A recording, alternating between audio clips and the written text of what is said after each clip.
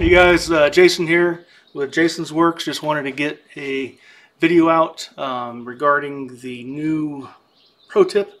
Pro tip number, I gotta look it up. Whatever number we're on now. Um, we have a new insert on these Ross pushers. So the idea is that when you're pressing your Ross pusher into your, your Swedish die, um, that inner support is going to give uh, make the legs more rigid, so less likely for the legs to slip inside the coin and could possibly chip the very edge there. I got another video showing how to repair that if it does happen. Quite easy, really. Skylar came up with that idea.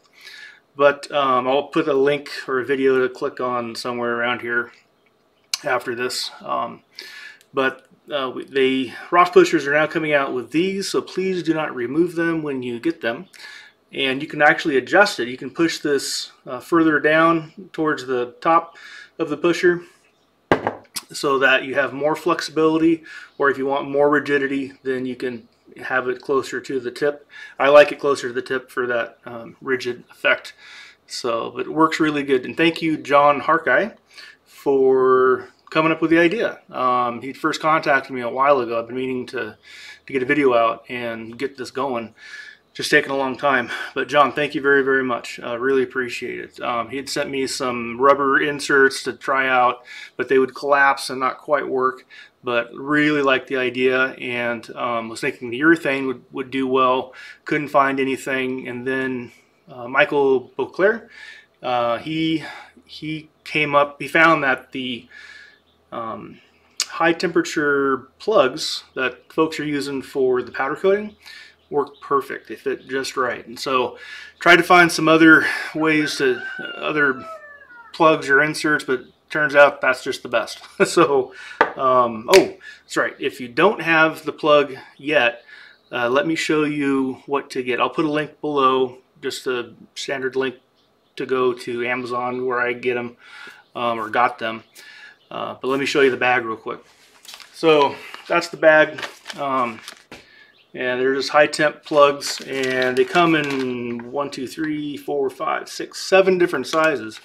You don't need all seven, you just need the three different sizes, but it's a few bucks, very inexpensive. Um, and you'll have them if you if you need them. That's that's where I would suggest getting them or something similar to that, something that is very rigid um, that but can compress. There's another gentleman who came up with the idea of a wood dowel.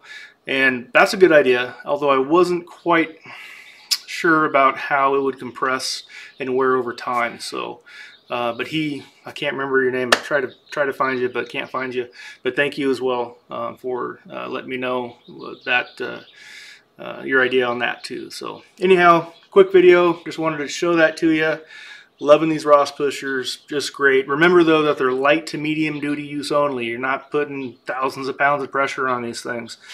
If uh, you have a lot of pressure to do, the big brass coin, or you're taking one coin through the first die and then you want to go a little bit through the second, then you want to use switch over to brass on that second die.